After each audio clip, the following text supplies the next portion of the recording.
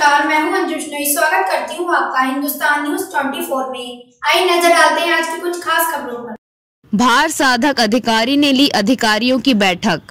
मुरैना, कैलारस कृषि उपज मंडी समिति के भार साधक अधिकारी एवं तहसीलदार श्रीमती शारदा पाठक ने आज कृषि उपज मंडी समिति अधिकारियों की बैठक ली एवं उनके कार्यों की समीक्षा की एवं उनसे शासन द्वारा चलित योजनाओं का लाभ हितग्राही को देने की बात पर भी गंभीरता से अमल करने को कहा गया।